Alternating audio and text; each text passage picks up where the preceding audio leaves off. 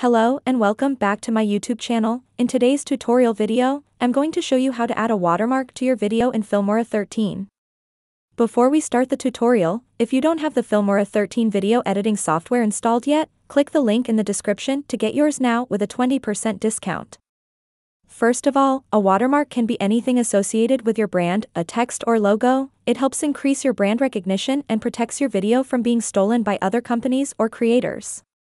Creating a watermark is way much easier than you think, so I'm going to show you how to create one.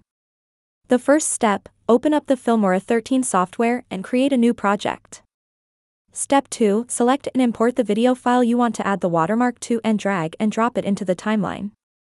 The first method I'm about to share with you is the text watermark. This type of watermark is used quite a lot and is super easy to do.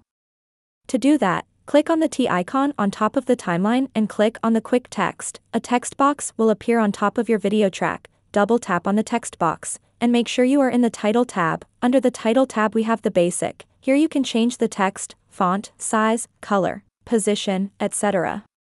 I am going to type in Filmora as my watermark and change the font, size, and positioning. You can also add animation to your text, to do that go to the animation tab, here we have the in, out, and loop, for this video I'm going to use the loop and I'm gonna pick my animation as blink and set the single loop speed to 5 seconds and click on OK to save your settings. If you are done, click on the play button to preview your work.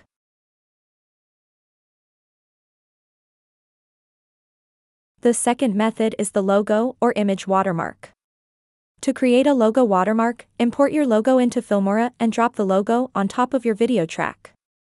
I am going to use the Filmora logo as an example for this tutorial.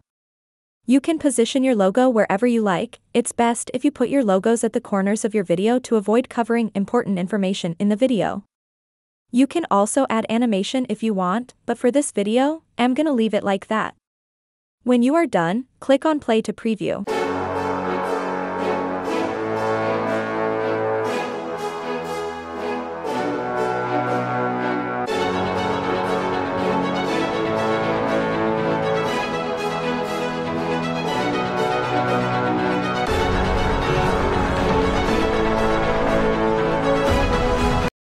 So pretty much, that sums up everything on how to add a watermark to a video in Filmora 13. If you found this video helpful, click the red subscribe button and like to support the channel.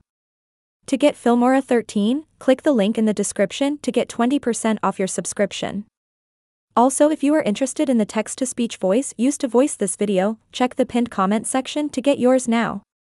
That's all for today, see you guys in the next video, peace.